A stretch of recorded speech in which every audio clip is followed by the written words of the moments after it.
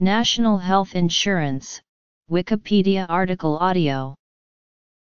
National health insurance sometimes called statutory health insurance is a system of health insurance that insures a national population against the costs of health care. It may be administered by the public sector, the private sector, or a combination of both. Funding mechanisms vary with the particular program and country. National or statutory health insurance does not equate to government-run or government-financed health care, but is usually established by national legislation. In some countries, such as Australia's Medicare system, the UK's National Health Service, and the South Korea's National Health Insurance Corporation contributions to the system are made via general taxation and therefore are not optional even though use of the health system it finances is. In practice, most people paying for NHI will join it. Where the NHI involves a choice of multiple insurance funds, the rates of contributions may vary and the person has to choose which insurance fund to belong to. History. Types of programs. National health insurance programs. Germany has the world's oldest national social health insurance system, with origins dating back to Otto von Bismarck's sickness insurance law of 1883. In Britain, the National Insurance Act 1911 included national social health insurance for primary care, initially for about one-third of the population employed working-class wage earners, but not their dependents. This system of health insurance continued in force until the creation of the National Health Service in 1948 which created a universal service, funded out of general taxation rather than on an insurance basis, and providing health services to all legal residents. National healthcare insurance programs differ both in how the money is collected, and in how the services are provided. In countries such as Canada, payment is made by the government directly from tax revenue. The collection is administered by government.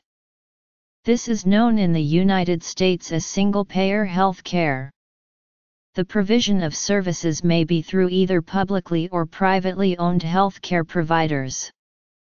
In France a similar system of compulsory contributions is made, but the collection is administered by non-profit organizations set up for the purpose. An alternative funding approach is where countries implement national health insurance by legislation requiring compulsory contributions to competing insurance funds.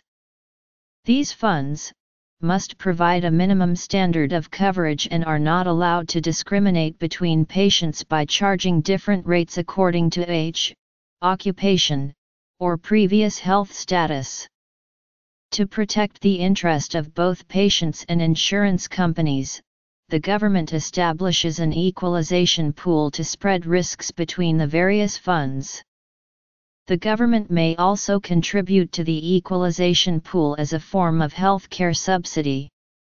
This is the model used in the Netherlands. Other countries are largely funded by contributions by employers and employees to sickness funds. With these programs, funds come from neither the government nor direct private payments. This system operates in countries such as Germany and Belgium. These funds are usually not-for-profit institutions run solely for the benefit of their members.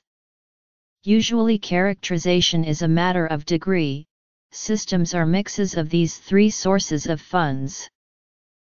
In addition to direct medical costs, some national insurance plans also provide compensation for loss of work due to ill health or may be part of wider social insurance plans covering things such as pensions, unemployment, occupational retraining, and financial support for students.